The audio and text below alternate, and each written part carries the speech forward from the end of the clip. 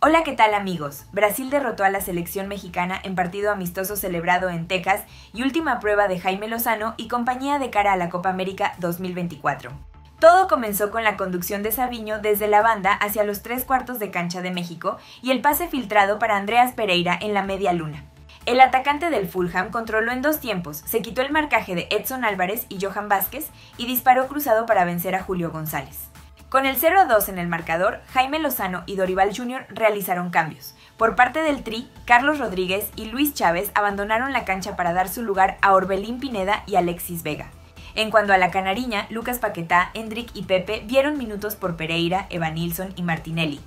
El segundo gol de Brasil provocó la lamentable reacción de la afición mexicana que volvió a corear el grito homofóbico en el desecte de arco y obligó al árbitro central a ejecutar el primer paso del protocolo de la FIFA en contra de la discriminación.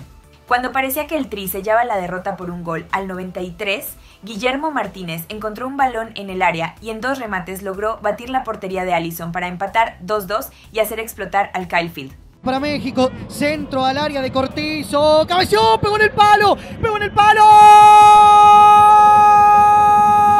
Increíble, increíble, increíble.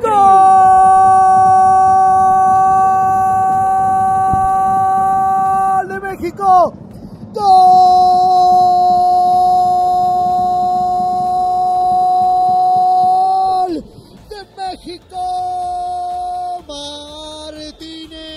tras una serie de rebotes en el córner, en el primer palo, la atacada de Allison. Le quedó al recientemente ingresado Guillermo Martínez. Se llenó el empeine zurdo de pelota, la cruzó. No pudo hacer nada Allison.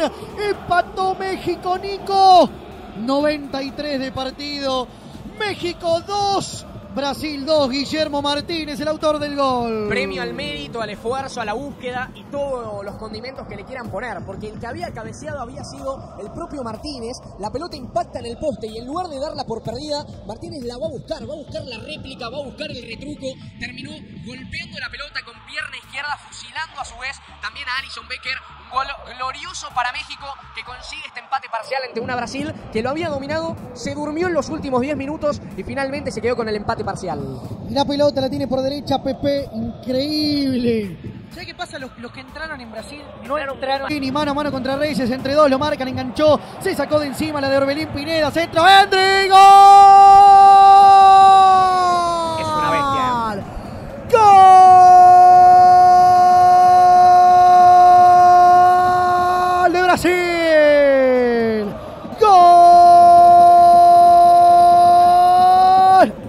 la canareña. Gol de Brasil. Gol de Hendrik. Centro de Vini. De cabeza Hendrik. Al palo más lejano de González. Brasil 3. México 2. Brasil siendo Brasil. Tardó poco para darle la vuelta al marcador cuando Vinicius alzó la frente y centró para el remate de cabeza de Hendrik. La joven figura del Real Madrid colocó el esférico cruzado para el 2-3 definitivo que dejó a México con saldo de 1-2 en partidos amistosos antes del debut en Copa América. Bueno mis amigos, hasta aquí este video, gracias y nos vemos en la próxima. Chao chao.